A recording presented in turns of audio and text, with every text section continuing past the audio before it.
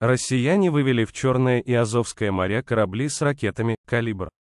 По состоянию на утро понедельника, 10 июня, Россия вывела в Черное и Азовское моря корабли, способные нести ракеты «Калибр», об этом сообщает РБК Украина со ссылкой на телеграм военно-морских сил ВСУ. Так, в Черном море находится один вражеский корабль-носитель «Калибров».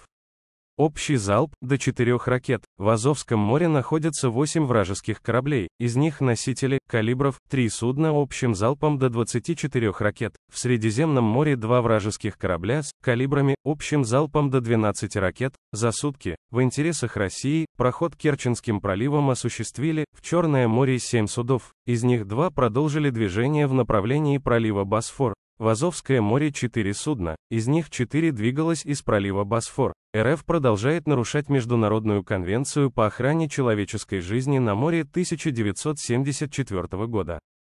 SOLAS, выключая системы автоматической идентификации, AIS, добавили военные. Ситуация на фронте. По данным Института изучения войны, россияне усиливают давление на Донбассе. Однако ВСУ контратаковали в Харьковской области. Вооруженные силы Украины начнут испытания отечественных управляемых авиабомб, КАБов. В силах обороны Юга Украины сообщили, что россияне наладили перезарядку подводных лодок ракетами «Калибр» в Новороссийске. Срочные и важные сообщения о войне России против Украины читайте на канале РБК Украина в Телеграм.